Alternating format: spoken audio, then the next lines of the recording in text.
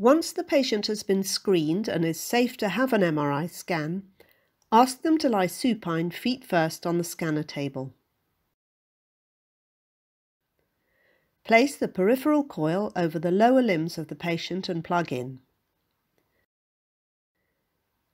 Give the patient an emergency alarm, ensuring they know when and how to use it.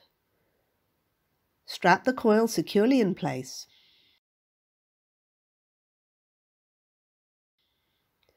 Now place two body coils over the abdomen and chest.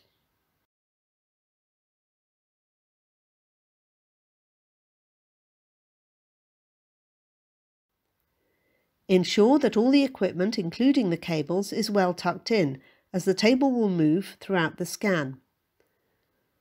Also ensure that the patient is positioned correctly. They should be lying in the middle of the table, so the median sagittal plane running through the patient should align with the middle of the bore and the scanner table.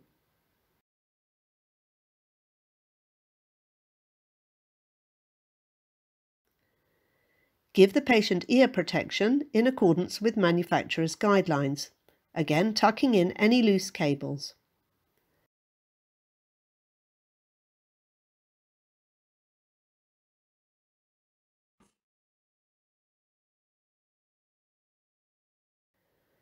Slowly move the patient into the bore of the magnet, centering in the middle of the lower leg.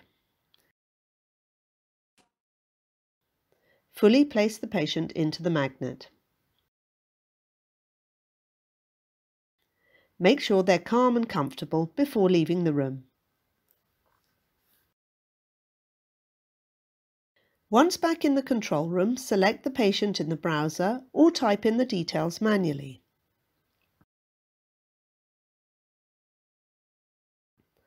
Ensure the correct patient weight is entered so that the SAR, or specific absorption rate, can be calculated accurately.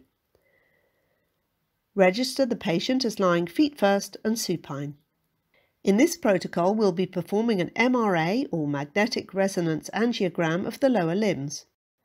The protocol in our department is performed in three stages, covering from the abdominal aorta to the plantar arteries of the foot. Bring across the correct protocols and start with some localizer sequences. This first localizer is a scout of the lower leg with the centering position at 0 mm. Below it you'll notice the next localizer of the upper leg, which is 420 mm from the isocenter of the lower leg. A measurement of between 400 and 450 mm can be applied to the majority of patients and can be adjusted manually depending on the patient's height.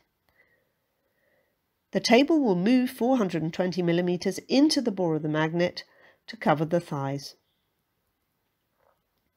Wait for the lower leg scout image and ensure overlap before applying the upper leg scout image. There should be overlap between all of the sequences to avoid any missed anatomy or misregistration. It's a good idea to inform the patient of the table movements before they occur. The scout of the lower leg has been correctly obtained when you can visualize the ankle joint inferiorly to the knee joint superiorly. This is a sagittal, coronal and axial localizer of the thigh. Using these localizers, plan the upper leg vessel localizer. Vessel localizers are phase contrast 2D sequences which are used to locate vascular structures. Ensure the spine coil and peripheral coils are turned on.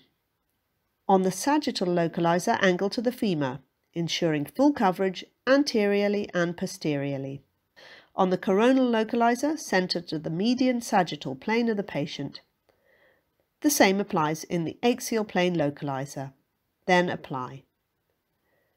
Next is the abdomen and thorax localizer. The table will auto move 840 mm from the isocenter of the lower leg. Again, check for overlap.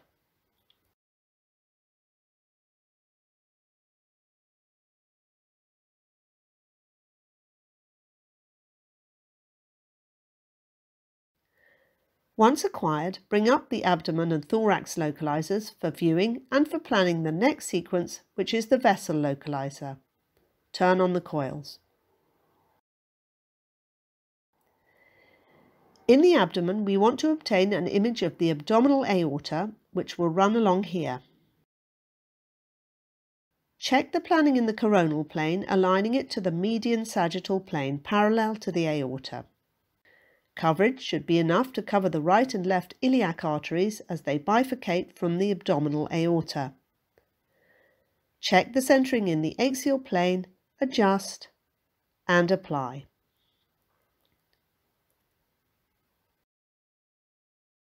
After all the localizers and vessel localizers have been acquired, we can move on to planning the T1 3D sequences.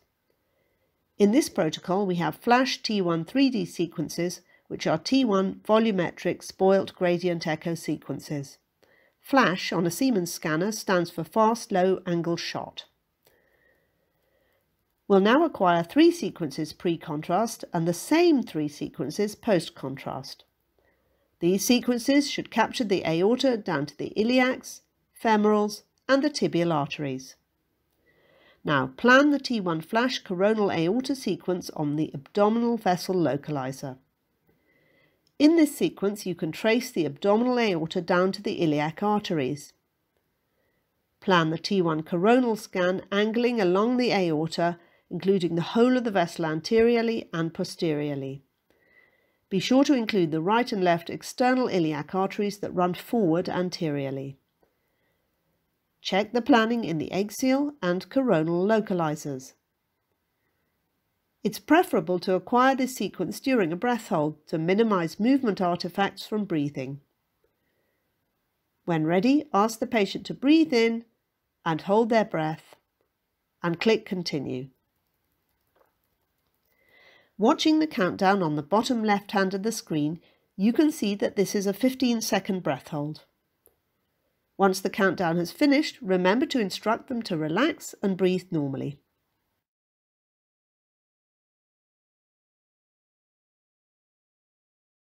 Reviewing this sequence, we're looking for inclusion of the vessels. Here you can trace the aorta as dark signal running down to the bifurcation of the right and left common iliac arteries which in turn branch into the external and internal iliacs. We're also looking for evidence that the patient has held their breath adequately.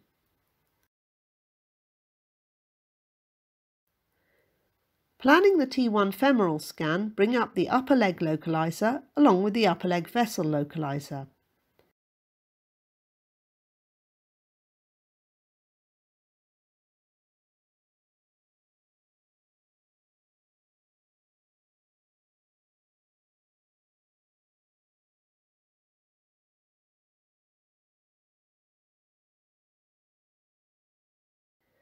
Angle along the vessel and turn on the coils. This is the superficial femoral artery and behind it is the deep femoral artery. Check coverage and centering in the axial plane. The arteries can be seen here as bright dots. Check coverage and centering in the coronal plane. The FOV should be sufficient to cover the whole of the femur.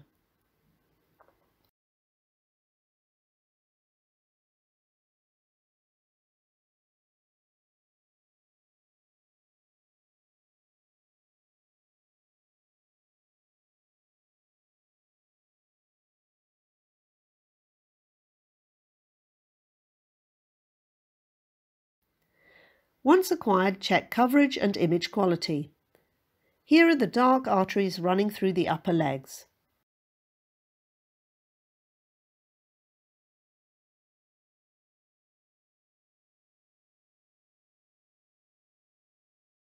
Next, plan the lower leg T1 sequence. Bring up the lower leg localizers in all three planes. Superiorly, make sure coverage is from above the knee joint down to the ankle joint. Angle along the length of the tibia with coverage from the anterior border of the tibia through to the gastrocnemius muscle posteriorly. Check the centering in the coronal and axial planes.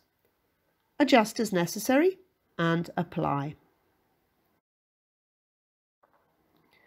The parameters used in the three post-contrast sequences should be exact copies of those in the pre-contrast sequences.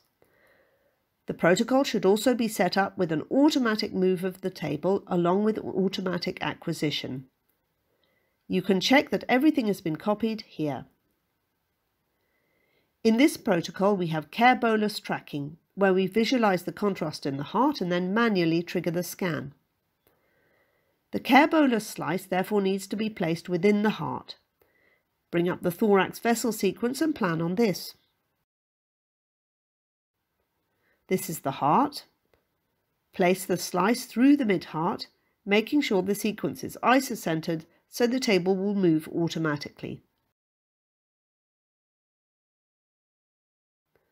Turn on the coils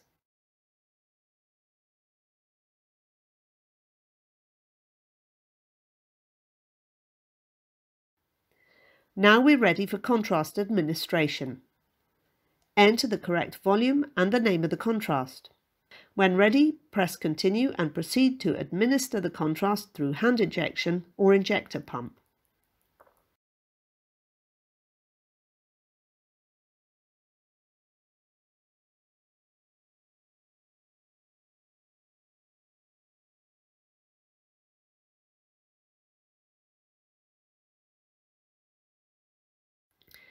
When the contrast is visualized in the heart, stop the scan, instruct the patient to breathe in and hold their breath, and press continue.